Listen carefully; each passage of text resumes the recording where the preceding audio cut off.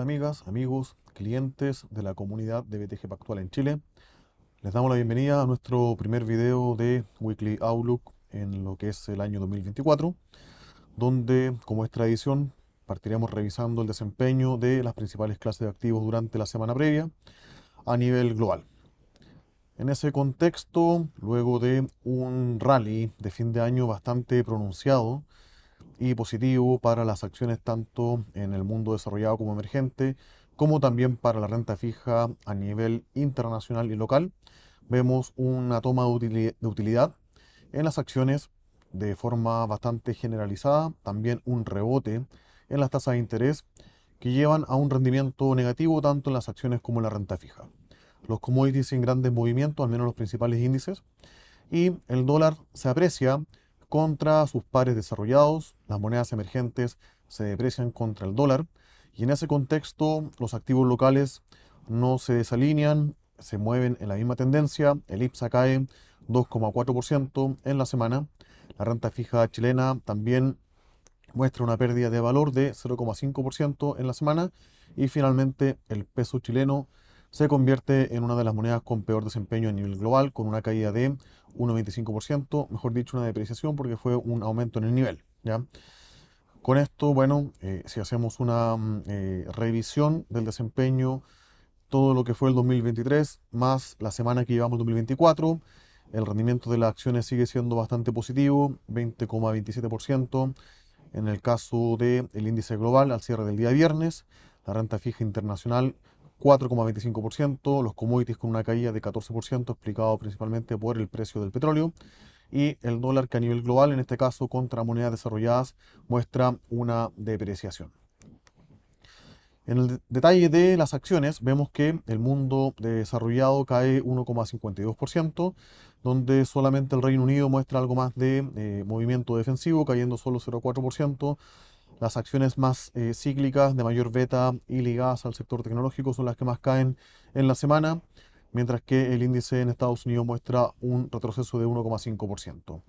En el caso de eh, Hong Kong y eh, el mercado desarrollado asiático, vemos que se profundiza la caída que vimos durante el año 2023, 2,7% cae el índice y a nivel emergente la situación es similar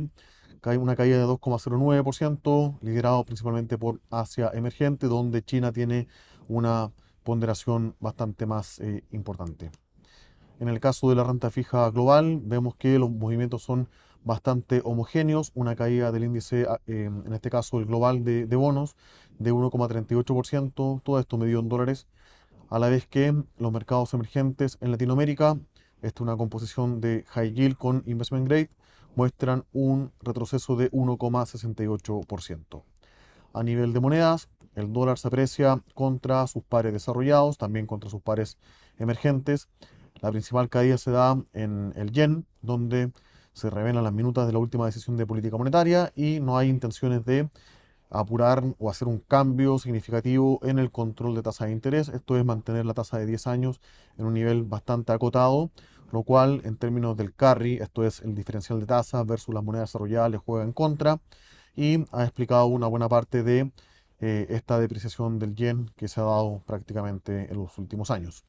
A nivel de mercados emergentes, ya lo hemos destacado, el peso chileno con el peor rendimiento, una depreciación de 1,25%, mientras que el peso mexicano y la moneda en India son las que sacan la cara y muestran una apreciación en la semana. En términos de los commodities, vemos un rebote en el precio del petróleo, el cual eh, en la cotización del día lunes eh, se pierde, día lunes me refiero hoy, se pierde eh, prácticamente todo. hay tensiones en Medio Oriente, que hay riesgo que esto se, se, siga expandiendo. lo más destacado durante la semana previa fue eventuales ataques de em, algunos barcos a portacontenedores que están circulando por el Mar Rojo en el canal de Suez y estos desvíos de eh, tráfico eventualmente podrían encarecer el ítem de la flete y cadena logística a nivel global y de alguna forma también poniendo algo de eh, presión en el precio del petróleo. El resto de los commodities, eh, todo prácticamente a la baja, con la excepción del hierro que tuvo un muy buen desempeño el año 2023 y parte del año también en positivo con un incremento de 2,72%. El gas natural muestra esta volatilidad bastante exagerada que es típica de lo que hemos visto en los últimos dos años. En términos de las noticias destacadas, partiendo con eh, Estados Unidos y el mercado laboral, vemos durante la semana previa un mercado que retoma el ritmo de creación de empleo bastante importante y elevado para el nivel de desempleo que hoy por hoy tiene la economía en Estados Unidos. Acá eh, aparece en negro, inserto ahí en el gráfico, en la parte superior izquierda, el detalle de todos los datos de empleo que se reportaron durante la semana previa, lo que se esperaba y lo que fue finalmente el dato.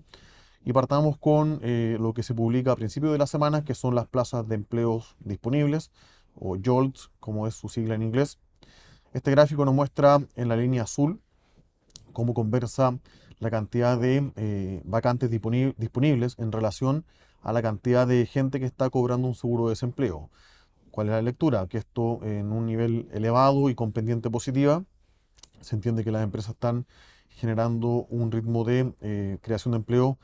más eh, fuerte o más dinámica de la cantidad de gente que está buscando empleo. Obviamente estas plazas de trabajo no tienen por qué conversar con las habilidades o la experiencia que tiene la gente que está desempleada, pero de alguna forma, como nos muestra este empalme con la línea celeste, que es eh, los índices de eh, crecimiento de salarios elaborados por la Fed de Atlanta, en general al alza, o sea, cuando tenemos un mercado laboral más estrecho, conversa con presiones salariales al alza, y al revés también cuando hay una moderación en esta eh, creación de empleo o al menos vacantes disponibles en relación a la gente que está desempleada, también vemos una moderación en las presiones salariales que se publican a través del índice de la Fed de Atlanta.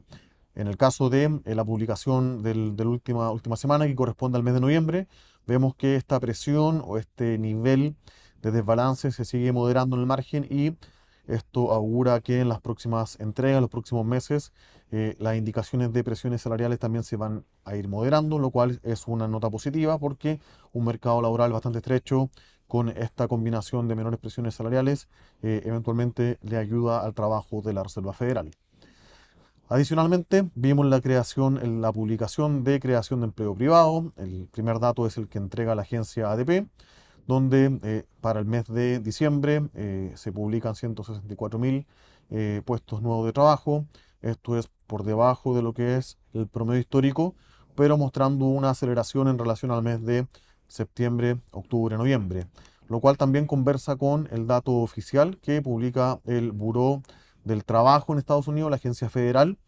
donde también se ve una aceleración en el mes de diciembre, se ve una corrección a la baja, sí, en lo que se había publicado preliminarmente en el mes de octubre y noviembre, pero como podemos ver acá en el gráfico, esta tendencia está en torno a un nivel de recuperación bastante más bajo de lo que fue post-COVID 2021-2022, pero de alguna forma acercándose a un nivel que de alguna forma mantendría la tasa de desempleo en un nivel bastante acotado, considerando eh, la cantidad de gente que está trabajando hoy por hoy en Estados Unidos. Por último, el dato que eh, de alguna forma pone una, nota de duda o de eh, incertidumbre en relación a el ritmo de creación de empleo para los próximos meses es el que se descompone o se puede derivar de la encuesta ISM de servicios. Recordemos que en Estados Unidos el sector de servicios el que tiene mayor peso en la economía y en esta encuesta que de alguna forma trata de anticiparse los próximos 3 a 6 meses cómo va a estar el ritmo de creación de empleo, en el gráfico de la izquierda muestra una caída bastante significativa a niveles que no habíamos visto desde la crisis del COVID o la crisis financiera subprime. Sin embargo, cuando uno trata de ver la relación eh, cercana entre esta encuesta en el ítem empleo versus la creación oficial de empleo, no hay una relación bastante elevada, así que puede haber algo de ruido en la respuesta del mes de diciembre porque al lado vemos en el, gráfico de la derecha que el índice completo del ISM de servicios sigue estando en terreno expansivo. La segunda noticia de la semana, de hecho hoy publicada en, Chile, el IPC, el dato de inflación del mes de diciembre, muestra una sorpresa, eh, en este caso a la baja, se esperaba un 0,1 negativo, fue finalmente menos 0,7. De esta forma eh, se compensa el dato eh, sorpresivo que fue en, el mes anterior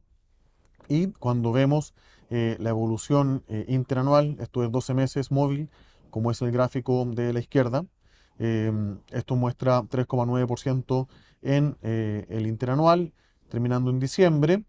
Eh, y la inflación core 4,1%. Si vemos la inflación headline, el 3,9% ya está dentro del rango meta del Banco Central, que es 3% más menos 1%. Y cuando vemos en la derecha la contribución por divisiones, prácticamente todas están restando inflación, eh, con la excepción de educación, que típicamente tiene el movimiento en el mes de marzo, y restaurantes y hoteles, que tienen un incremento de 0,8% en el mes. Así que esto es una buena noticia para la economía, considerando que